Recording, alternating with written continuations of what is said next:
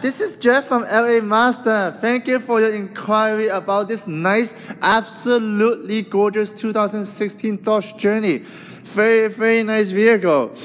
Coming to the driver's seat, as you can see, you have the power mirror, power lock, and power window control as well. Very, very nice heated leather seat for both you and your passenger.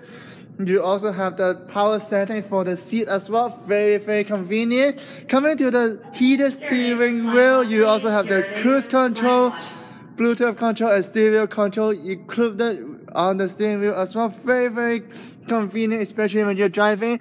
Touch screen, stereo control, and a heated seat control on the center console and the dual climate control at the bottom as well so that you can have a different setting for both sides of the vehicle. Coming to the back, you also have the leather seat for the back as well. Very, very, very spacious. And you do have the extra foot footwell at the back in case you do have the extra passengers.